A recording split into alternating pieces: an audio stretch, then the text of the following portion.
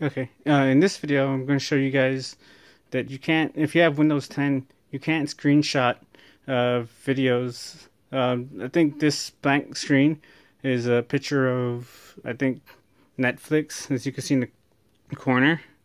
Uh, this other blank screen is a picture of possibly Hulu, I'm assuming.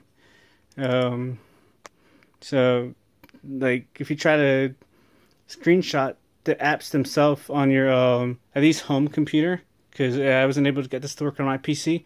Um, on Windows 10, it will just give you a blank screen, but if you were to screenshot it with a browser open, you should be able to screenshot the videos just fine. Um, I think the preferred one is probably Firefox to use for this because I just don't trust Google and they're kind of connected to everything.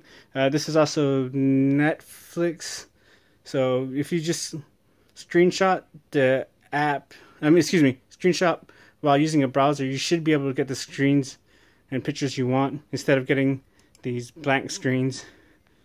So hopefully this helps you guys if you're like me where you screenshot something like you want to show on Facebook but you just got a blank screen